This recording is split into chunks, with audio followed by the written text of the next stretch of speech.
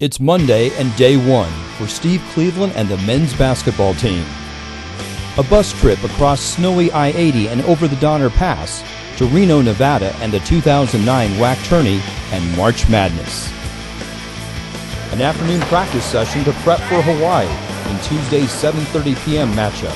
You certainly, when you play somebody twice, you know a great deal about them. Um, both times we played in Hawaii, certainly the first time we played them, just kind of overwhelmed us on the island.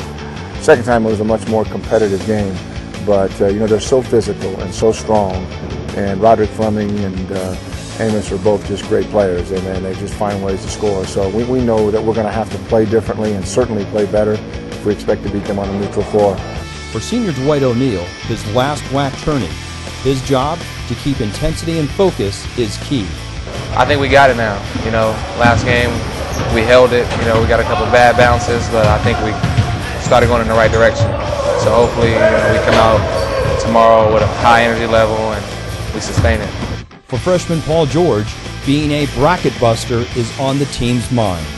I think at this part of the year, you know, we're playing real good basketball. Uh, despite the losses we, uh, you know, we came up to, but uh, you know, I'm excited that our season is continuing to go in, and you know, we just we're ready to play. We're excited about everything that's going on. Me being a freshman, uh, you know, I don't first time being here, I really don't know what to expect. So, you know, that's what I'm looking forward to. From Reno, Nevada and the Bulldog Sports Network, I'm Paul Latwig.